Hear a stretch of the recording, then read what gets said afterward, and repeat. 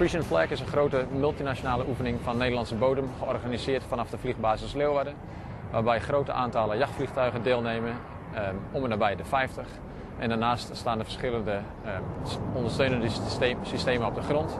Uh, waaronder ground-based air defense, dus raketsystemen om vliegtuigen of te beschermen of uit de lucht te schieten.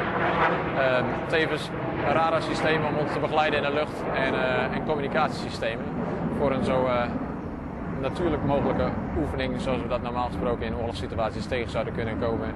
En dat trainen we dus hier vanaf de vliegbasis Leeuwarden in een multinationale omgeving, zodat we ook alvast met toekomstige coalitiepartners kunnen oefenen in een, uh, in een hoog geweldspectrum.